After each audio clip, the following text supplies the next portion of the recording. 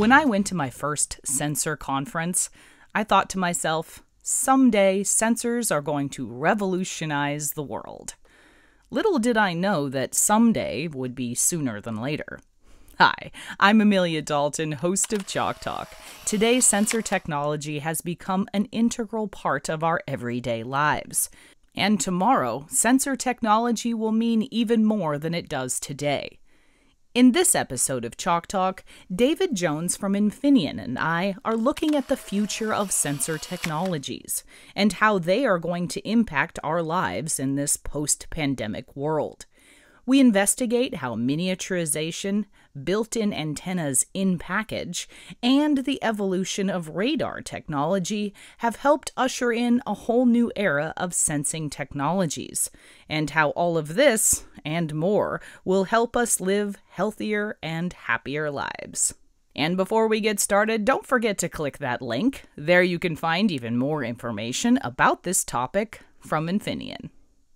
Hi, David. Thank you so much for joining me. Nice to be here. Thank you. Absolutely. Now, David, we're talking about sensing technologies in this post pandemic world today. But before we get into the details, what do you think we have really learned specifically from COVID 19 in this arena? I think the biggest thing we've all learned is the word uh, pandemic and what that means to us moving forward. I think we've all got used to now the fact of wearing masks, keeping social distancing, enforcing cleanliness rules in terms of sanitization, etc. But what's interesting, I think, as well, is that pandemics are not a new thing. They've been around for many, many years. I mean, you can trace the last true worldwide pandemic back to the Spanish flu in 1919. But in addition to that, there's been a whole slew of pandemics. We've had, um, in our lifetimes, we've had things like between 1957 and 58, there was a pandemic, the H2N2 virus. 68, there was also a pandemic, which was a, a version of that. And then there's influenza in 2009. If you were to Google the word pandemic or epidemic, there's many, many sites that talk about even many, many more issues in terms of outbreaks of viruses and pandemics, or not necessarily full pandemics, but epidemics that were centralized to a single country and the list goes on and on. So this is certainly not a new thing. And I think going forward in the new world, I truly don't think this is truly going to go away anytime soon. If we've learned anything, it's this fact that these have been around for a long time. This is not necessarily new, and we're all trying to adjust to a, a new environment, a new work environment, a new social environment moving forward. That makes sense. Now, David, how do sensing technologies fit in this new post pandemic world? So the sensing technologies that a lot of companies are developing now, including Infineon technology, is we're miniaturizing the sensor technologies. Things like radar, for example. I think a lot of people are familiar with radar at airports, these big antennas spinning around to detect aircrafts on ships as well. Even devices to detect speed. You know, we don't like those, but they're in our environment. The technology of radar itself is shrunk down to almost the size of uh, an integrated circuit these days. And you can do the same for microphones. You can do the same for pressure sensors. You can do the same for other sensing technologies. So at Infineon, what we've done with our sensing technologies is basically now that we have that capability to shrink that down to a size where it's literally non intrusive. So you can have sensor technologies that you can embed into multiple applications. We can essentially now replicate the human senses. So things like touch, you can almost replicate that in a machine environment where touch is the pressure sensor, is a pressure event. Sight, we've got RGB cameras. We're used to seeing cameras around, but there's also now the radar technology and also something called time of flight, where we now get 3D capability built into that. So now these sensor technologies are replicating the human sight, where it's not only a 2D image with colors, but now you can see depth to that and you can recognize depth to that. Hearing is another one. So microphones have become very, very sophisticated, very, very advanced, and they're being used to essentially replicate our hearing. Environmental sensors, such as detecting certain types of gases like CO2, that's like one of our noses, essentially. So you can detect that. So when you talk about sensors now, applying this to how we interact as human beings between one another, you can use now these sensor technologies from a machine perspective that now, as we interact in a certain way through COVID, we can use sensor technologies within machines to replicate that and basically work in an environment that's a lot safer. So, David, smart homes are already a huge market for various sensing technologies, right? What kind of sensors are you seeing in these types of systems in particular? Yeah, so it's exactly the same types of sensors. So, microphones, gas sensing for environmental sensing, pressure sensors, radar technology, time of flight, and touch sense. So, actually having a sensation of touching a device that not necessarily have real buttons, but it has the sensation of doing that. Where we're seeing the technologies being deployed is in IoT systems, a big market. So we talk about the smart home. One of those markets or a big marketplace is security. How do we enable a secure home? So security cameras, alarm systems. If you look at some of the regulations in California for building, for examples, we're moving to green environments. How does that play out in terms of health within the home itself? Things like certain type of gases, we mentioned CO2, for example, that can be toxic in a work environment. It can create headaches. In a COVID situation, it can actually be a transmitter of COVID itself surveillance systems, we're used to cameras. And again, that uses vision technologies with these sensors. Comfort and convenience is another area where these sensors are used. Convenience of devices. So we already are used to interacting with devices through voice enablement.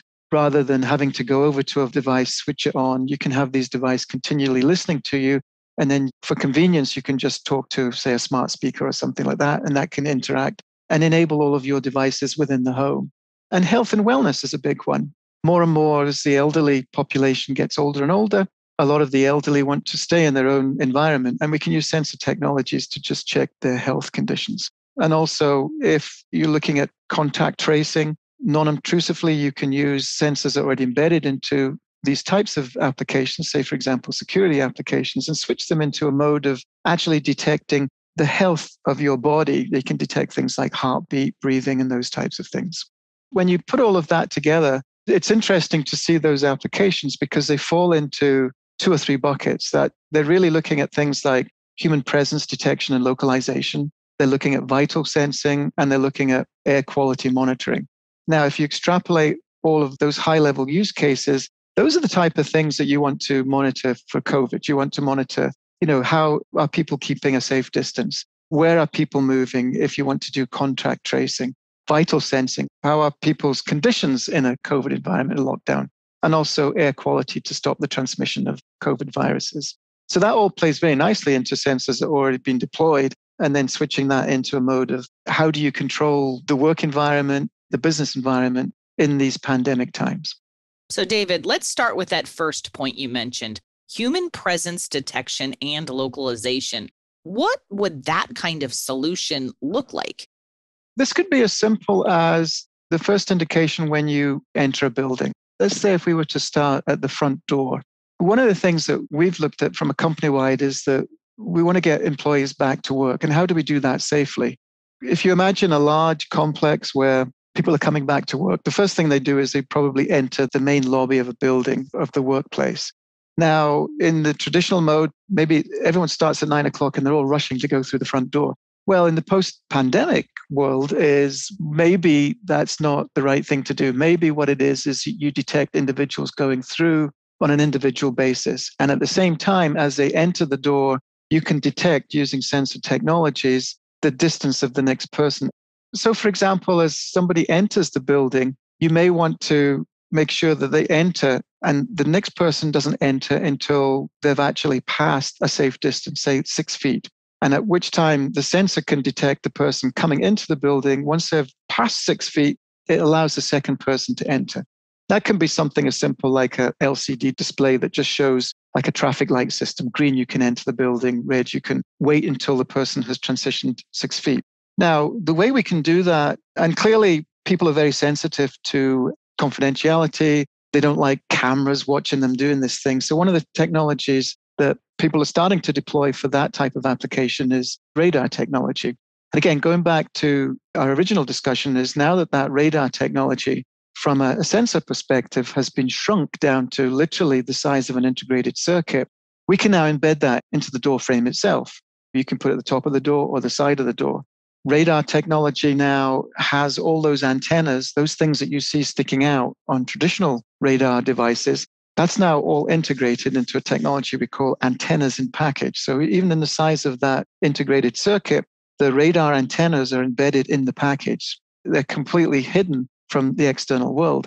And because radar can go through materials, you can hide the device in the door frame itself. So you don't actually see it, but it's still detecting the person entering. And you can create algorithms using the radar technology to get a human signature. And as that person enters, you can detect that person has entered the building. You can also detect the distance that they've traveled. And you can keep account of the number of people coming in the building. So having a safe number of people in the building, social distancing, and monitoring how they enter the building. So even that first entrance point, if you like, sensor technologies can play a big part. That makes sense. Now, David, specifically in terms of human presence detection, what kind of elements do we need for this type of application? There can be a number of sensors. The radar itself that we talked about earlier allows you to detect the presence of somebody. So once they're in the building, you may want to detect where they are. Say, for example, there's two or three people sitting at a table, and somebody else comes to sit down at the table.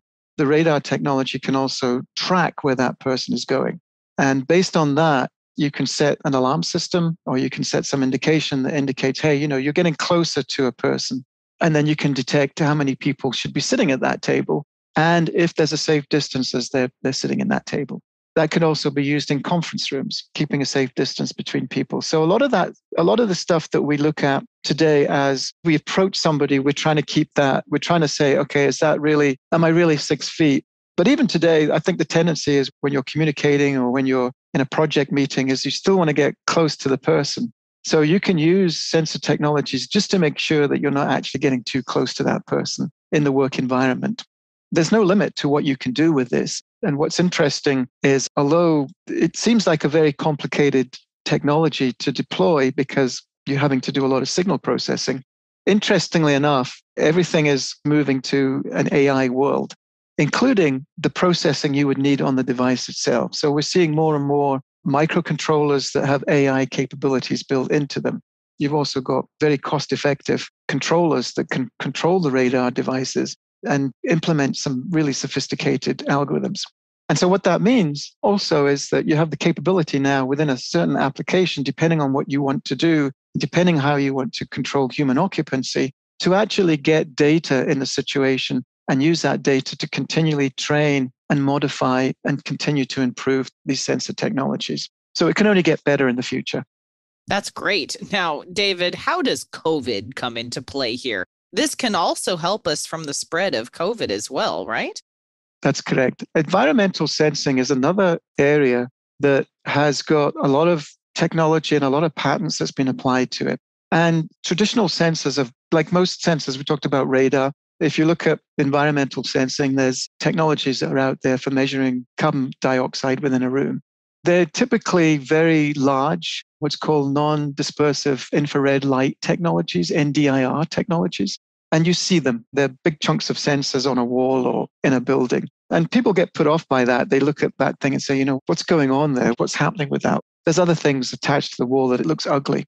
Even on the, the sensor technology now, we can apply MEMS technologies that have shrunk this down to a very, very small size. Even these environmental sensing technologies based on MEMS are actually becoming very, very small. So they can be embedded into existing equipment or they can be placed in a room where it's a very small device and it doesn't distract from what's going on within the room.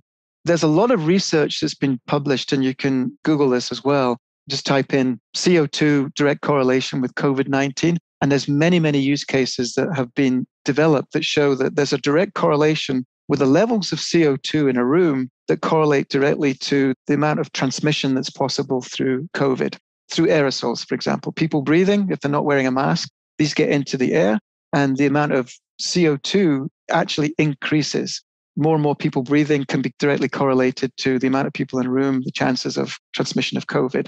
And so, based on that, there's been standards that are being developed or recommended. A certain number of particles per million of CO2 is a good level. And above or below that, well, certainly above that, becomes dangerous. And it would be recommended then to either you know reduce the number of people in a room because there's a likelihood that this could correlate directly to the chances of catching covid or alternatively put some ventilation in the room open a window it will be a safer place to work so those sensors can be used also in this covid times as well to have a safe room a safe environment to work in that was really interesting david now smart ventilation and monitoring indoor air quality also comes into play here as well right that's correct. And a, and a good example of that is in California, within the building codes, Title 24, there is a section in there that talks about the safe limits of CO2 in a room.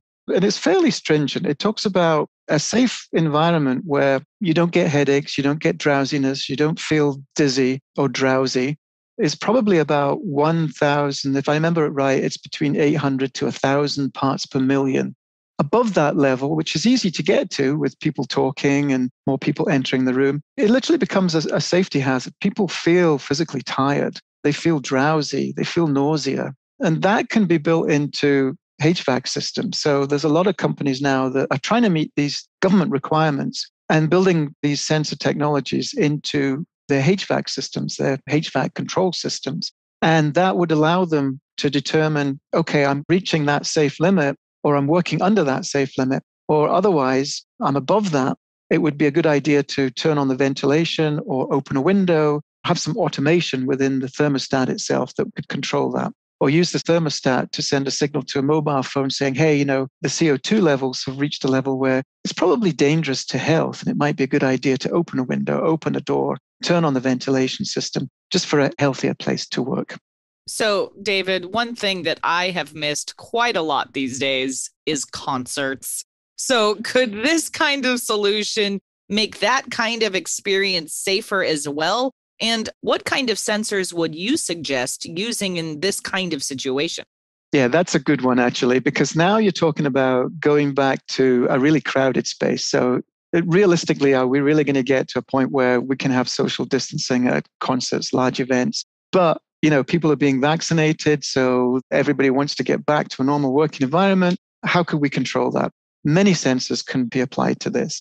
RF tagging. So, for example, you probably want to detect, you know, yes, somebody has been vaccinated, but what happens if, you know, after the event, where has that person within that concert area, where have they gone? So, contact tracing, for example. So, you can put RF tagging into a badge or a ticket so that you can track the person. Cameras is a good one, obviously, to track people, who they are, who was there, trace that back to a badge or an ID that somebody has going into the concert and say, hey, this is a person that contracted or was a carrier. How many people were they close to? You could potentially use that. But again, one of the problems with cameras is it invades on people's privacy, and there may be some issues with that. We talked about the smart entrance counter, so you can, to a certain extent, control. You want to have as many people in the concert venue as possible but there may be a safe limit where, hey, you know, this is really dangerous if it gets above a certain limit. And that entrance device using radar, you can count the people coming in and out without having to use cameras where you physically take pictures of people. For privacy reasons, that may not be possible. Heart detection devices, controlled ventilation that we spoke about earlier. Another interesting technology is once you actually are in the concert, could you still detect a person without a camera? And one of the technologies that's interesting is we can leverage our 3D technologies or 3D technologies that are out there. And one of those technologies is time of flight. So essentially, it doesn't contain a picture of somebody. So you're not losing the identity of somebody, but it has enough information if you use the sensor to look at somebody's face to detect distinguishing features of that person. So without actually disclosing their ID, you can use the time of flight technology to also detect how somebody is looking, whether they're wearing a mask, whether they're not wearing a mask, these types of things. So that technology can also be very, very interesting in these environments. So a combination of all of these, I think there's a lot of sensors out there that can actually help us go back to big major events like concerts. Well, that is exciting. David, you also mentioned vital sensing earlier. So, what kind of situations would you see this kind of sensing being powerful for? Powerful for health and monitoring in a normal environment. And we're certainly seeing applications for that being deployed today. People are locked down, they're in their environments. How do they stay fit? We're seeing a rise of uh, exercise machines. We're seeing a rise of home gyms, essentially. picking up where those health facilities are not available. So we can actually use embedded sensor technologies that non obtrusively would measure things like heartbeat, measure things like body temperature. Those can all be tracked and put into an app, for example. And then from that, you can detect a person's health. Even at night, there's more and more sleep monitoring devices. So you can have a smart speaker device, and within that, you're using sensor technologies, and you can leverage those sensor technologies that were purposed for other applications, but then switch them into a use case that switches to actually monitoring your breathing conditions, your heart rate, snoring, those types of things, and give you a readout in the morning. You know, how well did you sleep? What's your snoring? How many times did you snore? Which can be directly correlated to health reasons. And certainly would benefit your partner, for example, if you could reduce that going forward. That health monitoring capabilities can also be done with these more advanced sensors. And again, the fact that they are non intrusive, they're embedded in existing equipment, means that they're not something that you have to physically drag out, put on your body, etc. It's all done automatically for you. And then you can get results, for example, through your cell phone, through an app, for example. In a COVID environment, you know, how does that affect preconditioned people that have some sort of lung ailment today? You know, how is that changing over time? You can have these sensors just continually monitoring people and saying, hey, it might be a good idea based on the statistics that we're getting back to just get checked out for COVID and do a COVID test. Those types of things can help out. Excellent. Now, David, with a lot of companies encouraging employees to come back into the office these days, it seems like this kind of technology could also be used within our office environments as well. Absolutely correct. Yes. And one of the things that we talked about a number of applications detecting people, human presence. But one of the other things that's very interesting is what about touching surfaces? We've heard about coming back to the office, and it might be a, a hybrid model where people come in only a few days, I've even heard, and even our own company is talking about this, is that offices are now shared. We probably need a smaller space if we're working in a hybrid model. And what about sharing cubes? What about sharing desks? What about sharing offices? These are all things that I think a lot of people are talking about coming back to the working environment. So, one of the things that becomes prevalent there is okay, now we've talked about keeping social distancing, wearing masks, limiting the number of people coming into a room. But what happens when you're sitting at your desk and you're touching that environment that may have been touched by other people? You know, how do we control that? What sort of technologies could we use? And what we're seeing now is a human interface technology that's evolving where you can almost move now to a solution where you don't need to touch the product. You can basically hover your hand over and use gestures as opposed to physically touching keys on a keyboard, for example. And when you start thinking about an environment where you don't need to touch devices. You can apply this to vending machines. You can apply this to the key entry system. Normally, you would swipe a card. Maybe you swipe your hand across, and the, the sensors have the capabilities to detect your particular hand motion. Or we've even used applications with time of flight that you can program the time of flight to recognize vein patterns in your hand. It's that sensitive. So everybody's got a different vein structure by swiping their hand or putting their hand in front of a device, it recognizes the particular vein pattern in your hand, and that opens a door automatically for you. So you're getting to the point where you don't need to touch a lot of these devices going into that office environment. And here you can start seeing a number of sensors. We talked about radar, we talked about time of flight technologies. You can use ultrasonic. So we have microphone technologies that detect voice in the hearing range, which is 20 to 20,000 kilohertz. But if you go above that, which is called ultrasound, we can't hear it, but the sensors can still operate in the, say, the 30 to 40 kilohertz range, which the human ear can't hear. But what that's doing is it's generating or it's recognizing sounds in the ultrasonic frequency band. And those gesture movements can be picked up by a microphone and detected. And that microphone traditionally is being used for just picking up sound that we can audibly hear. So again, it's an area where these sensors were developed and designed for one particular use case, but they can now be applied to different use cases. So, depending on the sensor, going into that touch free environment depends on the distance that you can do that touch free. Radar would allow you to monitor things and open doors at a very large distance, even up to 10 meters, for example, as you're approaching, it could start opening a door automatically. Some of the smaller sensors, like a microphone, that would be very close proximity. So you approach a laptop, and as you approach a laptop, it switches the laptop on, those types of applications. So, yeah, that's another area where we're seeing a lot of advancement and a lot of thought going into the human machine interface of machines moving forward. Part of it is coming from how do we get back to a safe working environment in these post pandemic days. Now, David, this kind of touchless interaction could be even more widespread outside of the office as well, right? That's right. You can see this in interfacing with other machines. If you go to the mall, for example, you can see one of the first things you come to is probably a map of the mall. Where do I find the shop? So instead of touching the machine to get the details, you can approach it and it would come up. You could activate it with your voice. You know, a particular shop that you want to access picks up your voice patterns. You interact via voice or you interact via gestures to particular machines.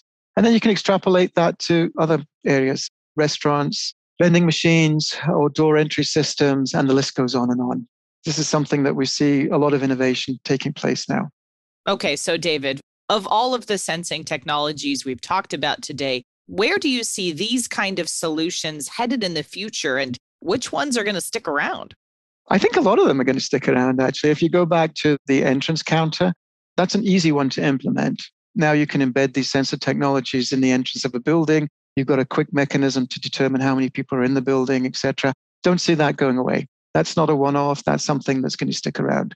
Environmental and health sensing, just working in a safe environment, just even at home. You know, if you think about now, we're all stuck in front of a terminal, we're feeling drowsy. A lot of that could be because the CO2 levels are rising in a room. And if it's not detected, the person is non productive or is drowsy during the day.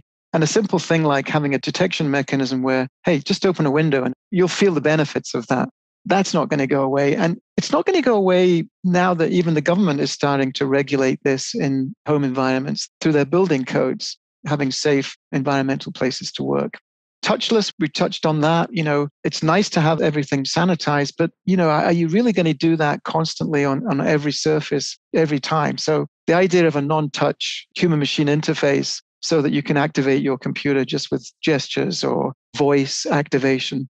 Take that to the next level. If you go back to the Star Trek days, maybe there's a holographic image there that replicates the computer and you're interacting with a holographic image or 3D or an AR, VR type user interface. These are not things that are that far from the future, maybe with some wearable devices, such that you're in a virtual world interacting with your machines. You're not physically touching them. So, again, for safety reasons, there are technologies now that are being developed that's going to enable that. So I think it's an exciting future going forward.